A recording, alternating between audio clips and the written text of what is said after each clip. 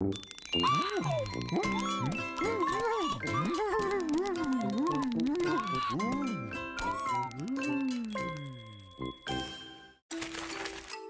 following program is presented with described video for the visually impaired.